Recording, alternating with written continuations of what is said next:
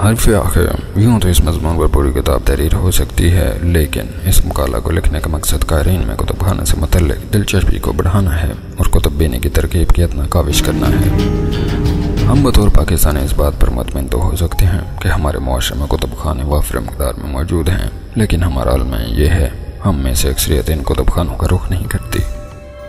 जिसके आज ये कुतुब खाने वीरान और इनमें रखी गई किताबें गर्दलूद हो चुकी हैं, जहाँ इन कुतुब खानों के इंतजामी की तवज्जो दरकार है। वहीं इन्हें दोबारा आबाद करने के लिए कायदीन की एक लंबी तादाद चाहिए। याद रहे कि किताब का मुताल इंसानी शूर की नशोनुमा में मुआवन और मददगार साबित होता है, और ये कुतुब खाने ऐसी मामलत के मराकज़ हैं। इसलिए अगर हम चाहें तो इस वर्षा की हिफाजत कर सकते हैं।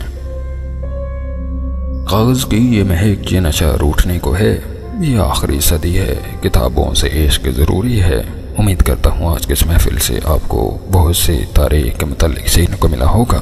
मजीद अच्छी वीडियोज़ के लिए हमारे चैनल को लाइक कीजिए, सब्सक्राइब कीजिए और शेयर कीजिए।